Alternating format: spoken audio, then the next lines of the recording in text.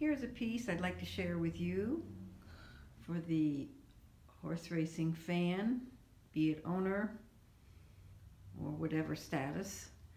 Um, this is an antique coffee table from Sweden. It's been refinished and prepared on the top with gesso. Um, I did these in Saratoga a few years back and sold most of them, but this one is still available.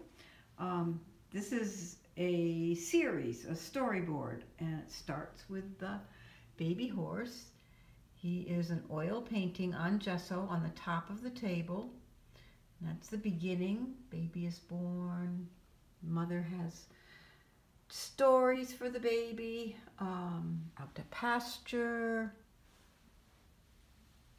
Then, as he grows into being a young horse, maybe off to auction. So they scrutinize and decide whether or not they're going to bid on him at the Fasig-Tipton auction. And there he is in the circle being bidded on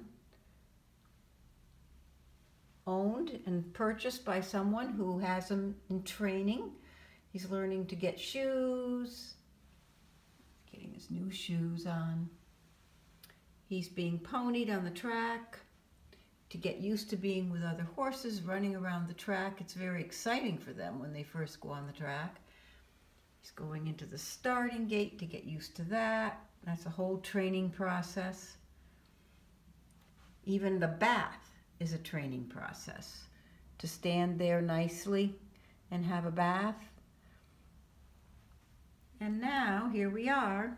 Proof is in the pudding. Going into the starting gate for his first race. And wham! Out of the starting gate. Very noisy, very exciting. Hope he goes straight. Off to the race.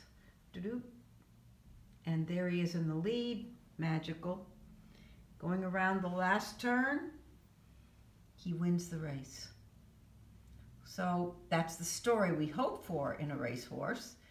Then back to his stall after his bath to figure out what he's going to do tomorrow.